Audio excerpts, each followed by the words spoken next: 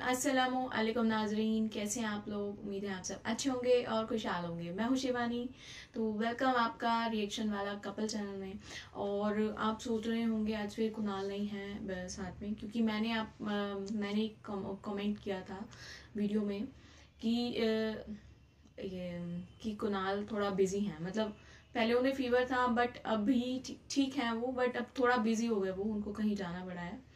तो इसीलिए अभी के लिए फ़िलहाल मैं ही वीडियोस रिएक्ट कर रही हूँ। तो आप मेरे साथ बने रहिएगा। और आज की वीडियो है अल कलाम टीवी चैनल से। और वीडियो का टॉपिक है फ्रांस में जब तेईस लोगों ने मुसलमान होने का ऐलान किया तो वहाँ क्या हुआ?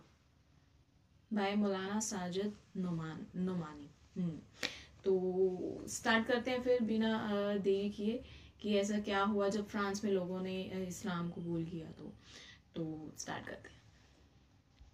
2013 में वहाँ फ्रांस के शहर लियोन, उसकी जाम मस्जिद में एक बड़ा इज्तम मुनद हुआ, जिसमें तेईस फ्रेंच मर्द और औरतों ने इज्तमाही तौर पर कबूल इस्लाम का ऐलान किया।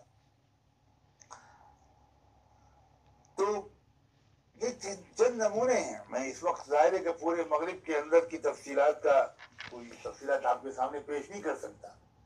तो इसकी वजह से समझ में आता है कि वहाँ की जो हुकूमतें हैं या वो ताकतें हैं, वो बहुत ही ज़्यादा परेशान हैं फ्रस्ट्रेटेड है और वो ऐसे वाकयात रूनमा करते हैं जिनसे मुसलमान गुस्से में आ जाए और मुसलमान गुस्से में आएगा तो वो कोई ऐसी कार्रवाई कर बैठेगा और जब कार्रवाई कर बैठेगा तो मीडिया के ज़रिए उसको बहुत ज़्यादा नमक मिर्च लगाकर मुश्तहर किया जाएगा।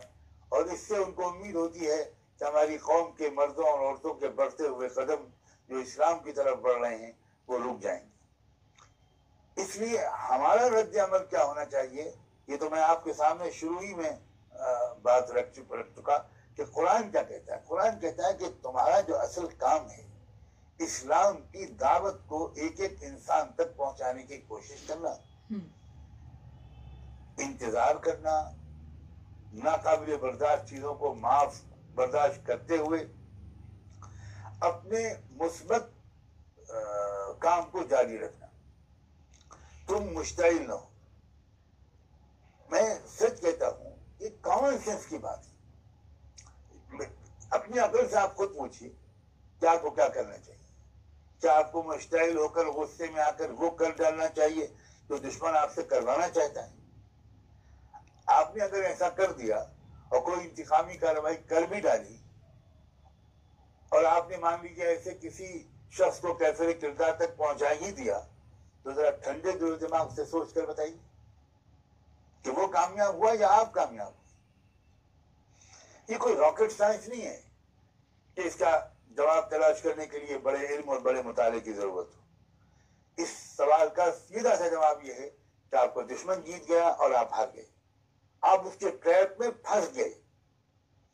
इसके बरक्स अगर आपने उसकी चाल को समझकर अपने को, अपने गुस्से को काबू में रखा, इस चाल में नहीं आए और कोई ऐसा काम नहीं किया जो आपसे करवाना चाहता था, बल्कि आपने अपने जज्बात को काबू में रखकर और अक्लमंदी से, समझदारी से काम लेकर वो काम बढ़ा दिए जिनसे माहौल मजीद खराब होने के बजाय कुछ बेहतर हो जाए। या कम अज कम चंद दिनों कि सुकूत के नतीजे में फिजा कुछ मतदिल हो जाए और आप अपने मुस्बत, तामीरी कॉन्स्ट्रक्टिव इसलाही और दावती कामों ही में मसरूफ रहे तो यकीनन आप ही कामयाब हो यहाँ भी आप कामयाब होंगे और आखिरत की कामयाबी तो यहाँ की कामयाबी से ज़्यादा यकीनी है। और फिर एक और बात की तरफ़ इशारा करता हूँ। इस तर्ज अमल के नतीजे में नफसियाती तौर पर साइकोलॉजिकली मेंटली आपको एक इतमान की कैफियत महसूस होगी एतदाल की कैफियत महसूस होगी। फतेह मंदी का मसरूर कुन एहसास, यह आपको बहुत एनर्जी देगा। आप अपने हौसले में आपको लगेगा कि बुलंदी आ गई दिलो दिमाग में उम्मीद की रोशनी बढ़ गई।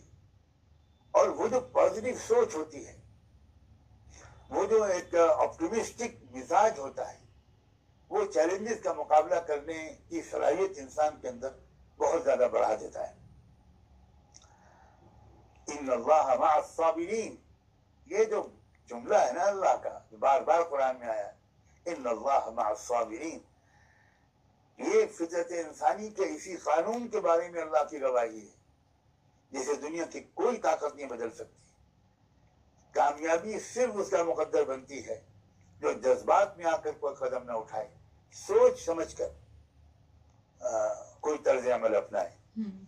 और जब भी आप सोच समझ के इस्लामोफोबिया का आ, एक रद्द अमल तलाश करेंगे तो आपको कभी भी आपका जहन और दिमाग ये मशवरा नहीं देगा कि पलट कर वार कर दो चीखो चिल्लाओ शोर मचाओ बल्कि आपको आपका दिलो दिमाग आपकी फितरत यही मशवरा देगी। कि बर्दाश्त कर लो इग्नोर कर लो, नजरअंदाज करो, अपने काम को जारी रखो और अपने मुस्बत काम को बढ़ाते रहो। ये है इस्लामोफोबिया के सिलसिले में मुसलमानों का रिस्पांस क्या होना चाहिए? उसके बारे में एक मुख्तसर मैंने मरूजात पेश की। कहा तो इसके बारे में बहुत कुछ जा सकता है, लेकिन मैं मुनासिब नहीं समझता कि बहुत ज़्यादा मैं आपका वक्त लूँ। और मुख्तलिफ़ और मौजूद की तरफ़ आपका जहन चला जाए।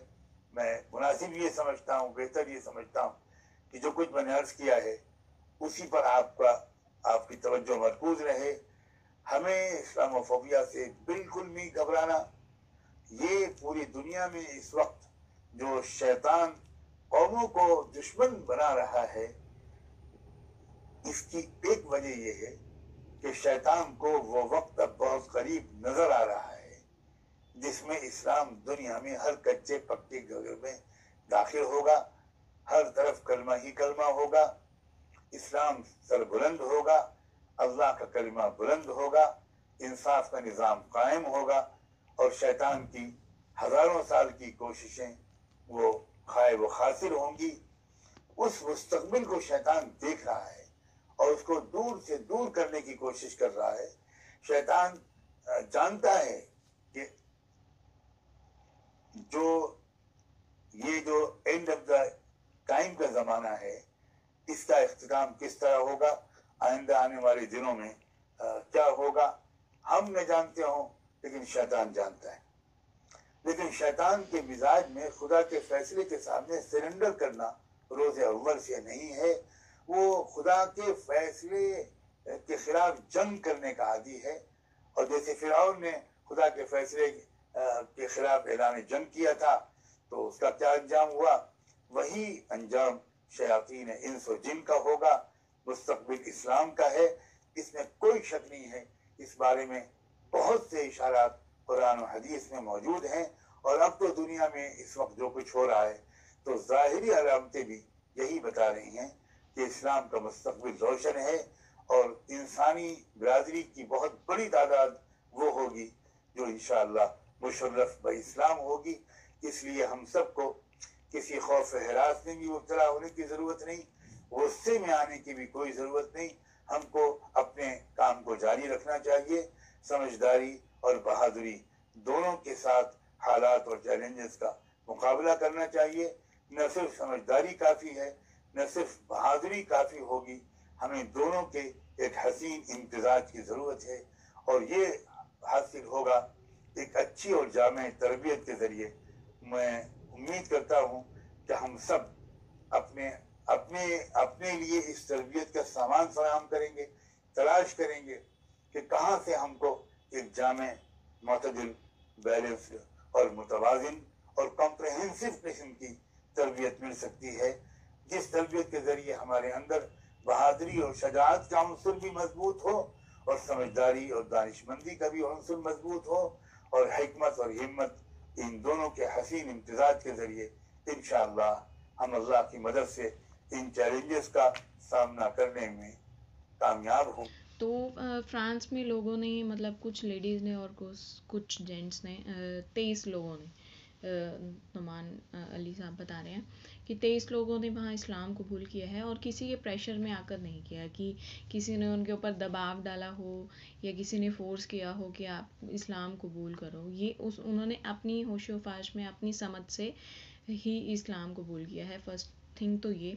दूसरी थिंग ये बता रहे हैं कि इन्होंने आ, मतलब वहाँ के लोग मे बी वहाँ के लोग बोला या ऑलमोस्ट सब सभी लोग बोला तो कुछ हो, होते हैं जो कि चीज़ें डबल करके बता देते हैं या फिर बढ़ा कर बता देते हैं।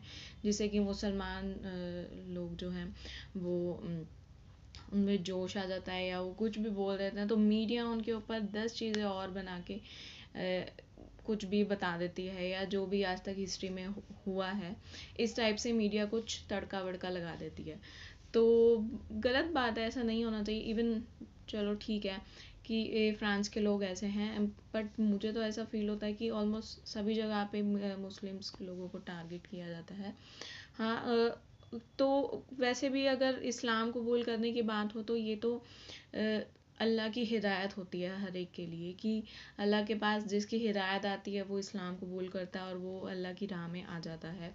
और कुरान में काफ़ी चीज़ें बताई गई हैं कि आपने आ, आ, हर एक मुसलमान का ये फ़र्ज़ है कि कि वो अपने मज़हब के बारे में दीन के बारे में लोगों को बताएँ ताकि वो इस्लाम कबूल कर सके बट नॉट बाय फोर्स कि उनको फोर्स करके नहीं, उनसे लड़ के झगड़ के नहीं, उनके ऊपर प्रेशर डाल के नहीं तो उनको पुश करके नहीं तो ये चीज़ भी साथ में कुरान में बताई गई है।